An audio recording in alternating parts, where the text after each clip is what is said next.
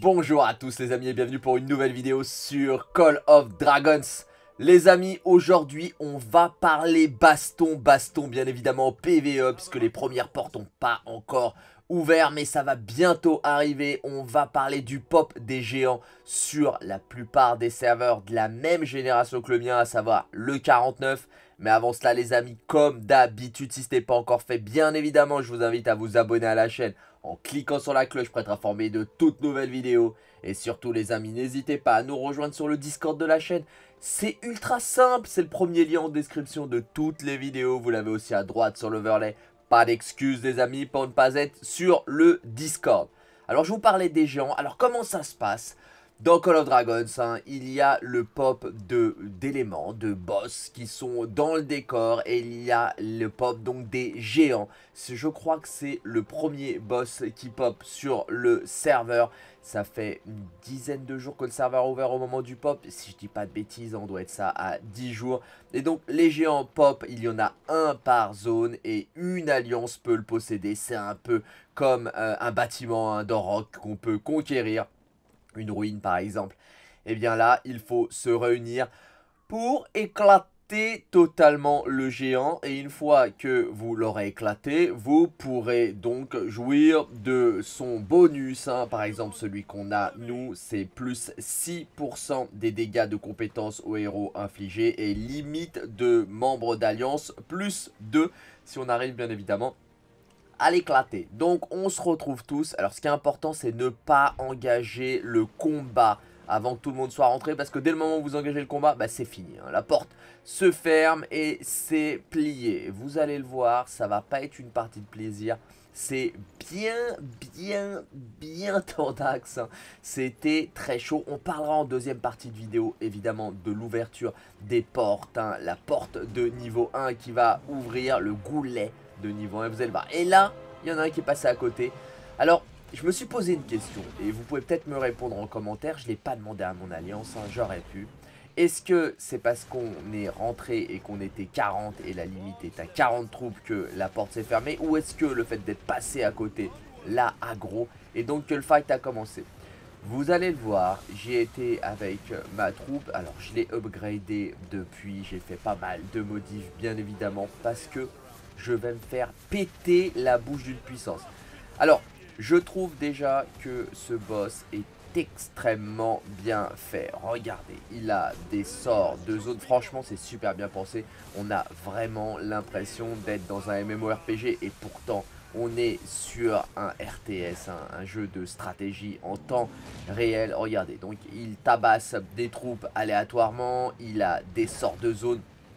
Faut évidemment moi qui suis en tissu, qui suis un mage, hein, je suis pas de l'infanterie. Faut que je reste à l'écart. Regardez, il lâche pas les troupes, il les tabasse. Et regardez là, il y a de la zone. Au sol, il y a des couloirs dans lesquels, et moi, comme un gros abruti, je suis bien aligné sur le couloir. Hein. J'ai mis un peu de temps à comprendre la stratégie et ça va me coûter très cher puisque ça va me coûter tout simplement la vie sur ce try. Il n'y en a eu qu'un, on l'a eu au premier try, donc le try que vous êtes en train de voir, l'essai que vous êtes en train de voir, on va réussir à le down. Mais regardez comme il frappe fort, comme il frappe mal et tout frappe mal, frappe fait mal plutôt. Et vous allez voir, ouais, défaite. Donc moi, c'est fini. Hein. J'ai pris trop de fois la zone. J'étais pas assez rodé. La stratégie, si vous devez le faire sur votre royaume, sur votre serveur, c'est très simple. Restez, si vous n'êtes pas un corps à corps, hors de la zone. Si vous êtes au corps à corps, il va falloir être très solide et vous déplacez dès qu'il va y avoir un pop de couloir de zone. Donc si vous êtes suffisamment à distance, vous prendrez beaucoup moins de zones. Regardez, là quand il fonce, faut tout de suite se déplacer quand vous êtes un tissu. Regardez comme il se bouge. Certains remontent, voilà, on s'écarte, on laisse les cacs, hein, les corps à corps rester à proximité. Et on fait bien attention, regardez, il y a quand même les couloirs qui repop. On fait très attention aux couloirs et normalement, si on fait pas comme moi, vous allez le voir après, je vais vous montrer un autre boss qu'on a fait, un, ours. On l'appelle Booba. si vous sortez et que vous restez pas dans les couloirs, Normalement, ça se passe bien. Regardez, en haut, on a sa barre de vie. Elle est euh, bien, bien entamée. Une chose qu'on a mis un petit peu de temps euh, à comprendre, ou du moins, moi que j'ai mis un peu de temps à comprendre, c'est qu'il va y avoir un pop. Regardez le pop des euh, avatars, de ces petits, ce petit mignon.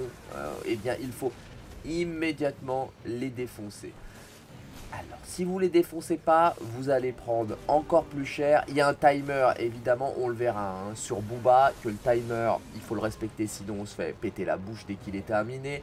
Regardez donc, vous défoncez rapidement les mignons et après vous pouvez vous... Ils sont quand même costauds, hein, les mignons, c'est pas des mignons de chez Wish. Hein. Regardez, leur life ne descend pas tant que ça. Il faut évidemment que les corps à corps, l'infanterie continue d'occuper le géant. Les cacs sont éclatés. Regardez, on n'est pas le premier. On vient d'avoir un message qui est passé en haut. On n'est pas les premiers à avoir réussi à descendre les géants. En termes d'alliance, on est pas mal. Je vous montrerai nos stats encore une fois après, en deuxième partie de vidéo. Le géant est pratiquement down. Il lui reste 70 000 points de vie sur 500 000. Donc autant vous dire, regardez, puis là, là maintenant les minions sont descendus, tout le monde se renfocus dessus et sa vie descend très vite. En fait, il n'y a pas eu tant de morts que ça. Hein. Je suis surtout euh, l'un des rares à être mort. Je me suis vraiment fait éclater la bouche. Il y a, suite aux morts des mignons, hein, des petites pierres de vie. Vous restez à côté, vous récupérez de la vie. Hein.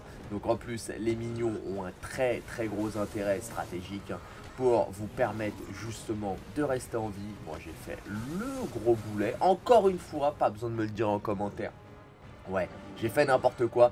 Et regardez, là le géant est mort. Il fait un dernier petit coup de zone hein, autour de tout le monde avant de s'effondrer. Et puis tout simplement, il est down. Une fois qu'il est down, tout le monde peut aller dessus, vous allez dessus, vous aider à le purifier. Ça dure une, deux minutes. Alors moi, je me suis dit, est-ce que j'y vais Est-ce que j'y vais pas? Bon, pas tellement d'utilité d'y aller. Le temps de faire le chemin, ça aura été terminé. Et puis surtout, il y a une limite du nombre de personnes qui peuvent se mettre autour à le purifier. C'est 40. Donc, euh, sachant que ceux qui étaient dehors sont rentrés tout de suite. Bref, ce n'est pas bien grave. Le géant est purifié après 1 minute 30, 2 minutes. Et puis, et puis, vous avez donc les bonus. Le premier bonus, donc plus 6% en dégâts infligés par le héros. Et limite d'alliance plus 2. Ce qui nous permet d'avoir plus de membres. Passons, maintenant que ce down est fait, puis il y a l'annonce hein, en haut comme quoi les R et R, mon alliance, on a réussi à faire le géant. On est un petit peu les boss de la zone, on est même les boss de la zone. Vous allez voir, je vais vous montrer tout ça après. Passons à la deuxième partie de PVE où on a tenté de faire Booba Booba, mon petit ourson. Encore une fois, on s'est réunis, mais là, on est moins nombreux. Hein. Je peux vous le dire, on est moins nombreux, on est moins déter parce que Booba est accessible tout le temps. C'est un mob qui est là dans le décor.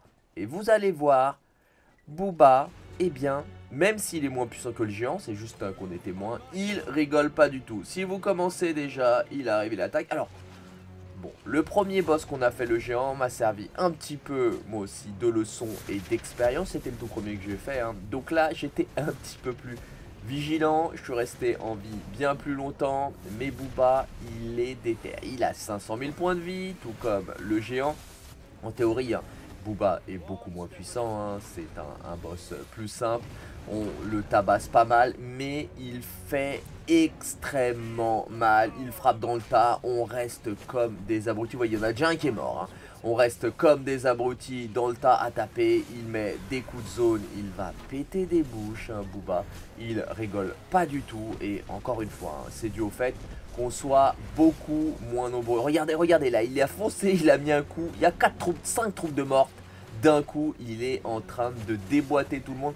Moi, je suis encore là, regardez, je suis en haut, je suis planqué, je continue de taper, mais ça ne va pas durer. Booba va me faire très mal. Regardez, regardez ses coups. A encore une troupe de mortes, une deuxième, une troisième. Il est, oh, il y en a même quatre. Il est en train d'assassiner tout le monde. Booba, il est vraiment en mode vénère. Pour le moment, je tiens, j'ai compris je devais rester hors de la zone. Donc, vraiment, là, je me suis dit, c'était bien parti. Mais finalement, non, regardez.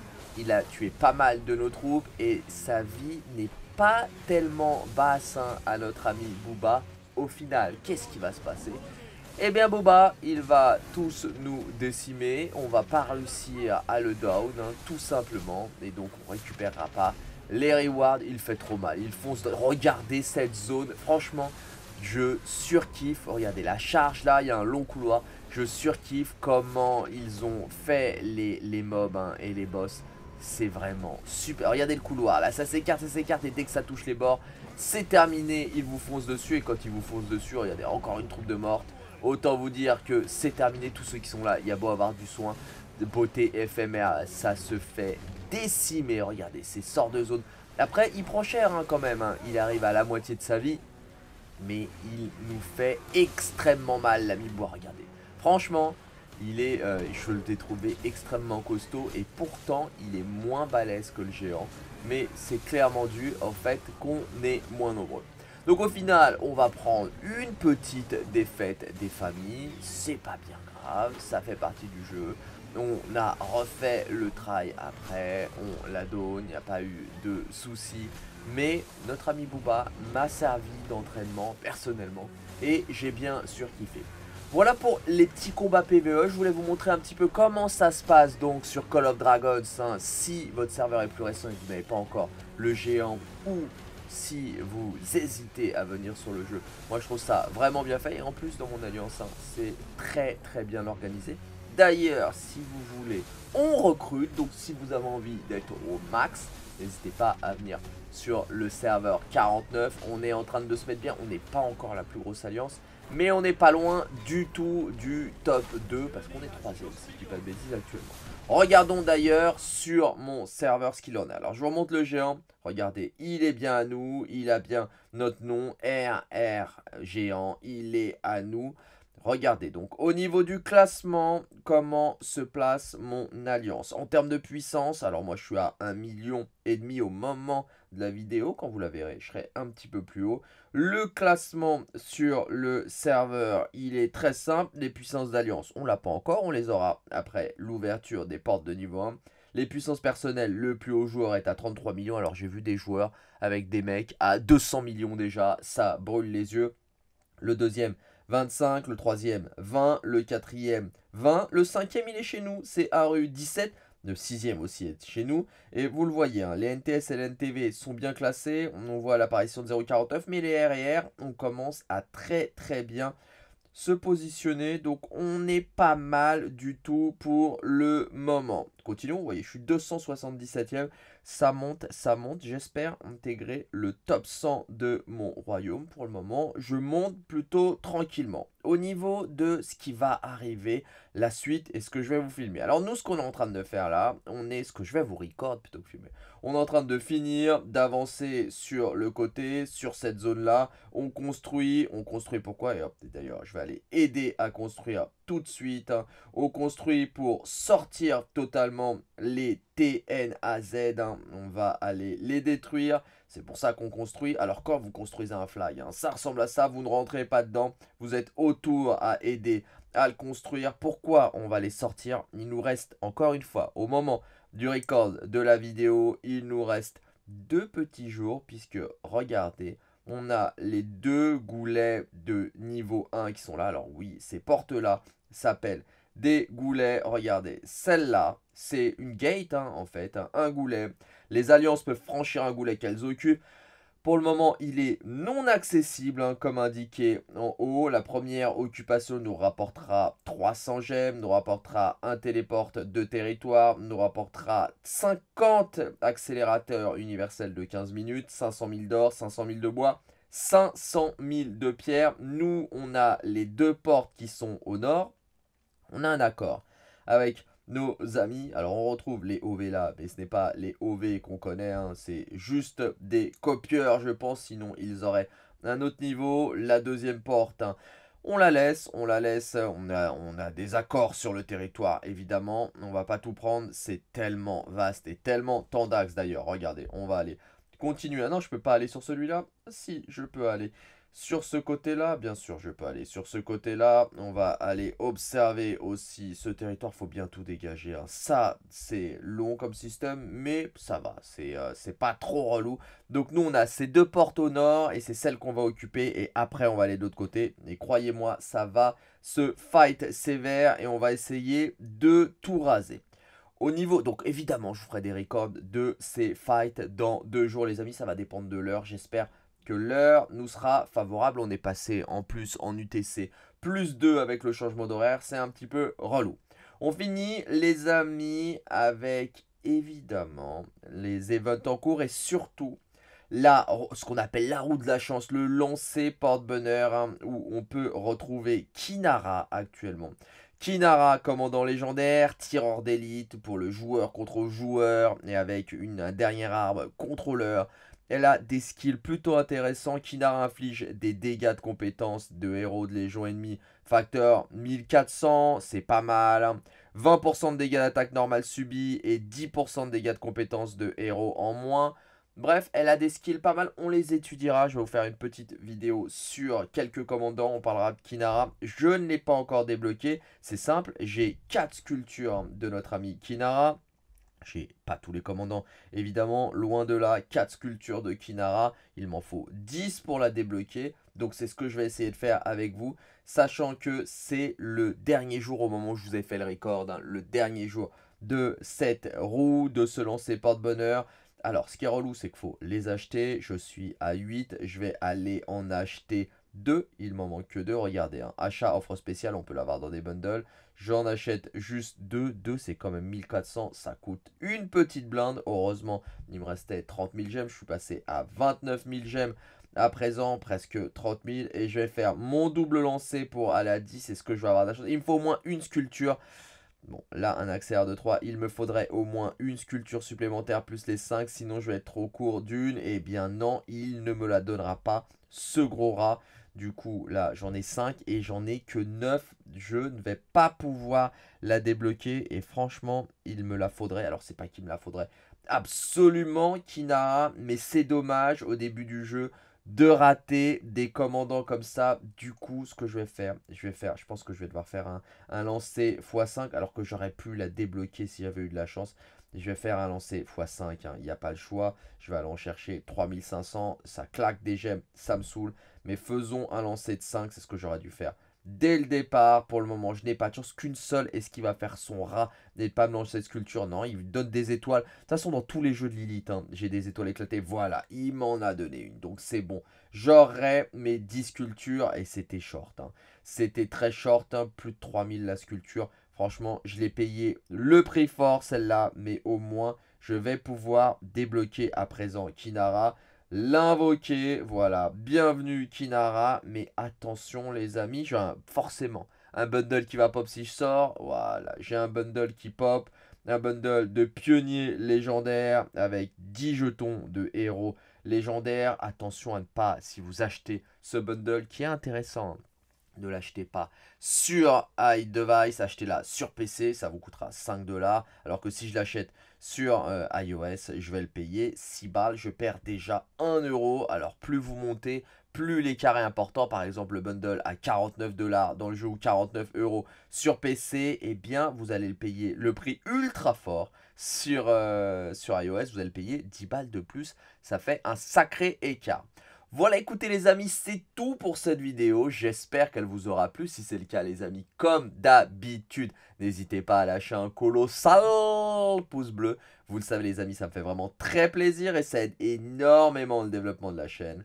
Si ce n'est pas encore fait les amis, qu'attendez-vous Qu'attendez-vous pour vous abonner à la chaîne en cliquant sur la cloche pour être informé de toutes nouvelles vidéos. Je vous souhaite un bon jeu à tous, prenez soin de vous, faites bien attention à vous les amis, et je vous dis à plus sur Call of Dragons.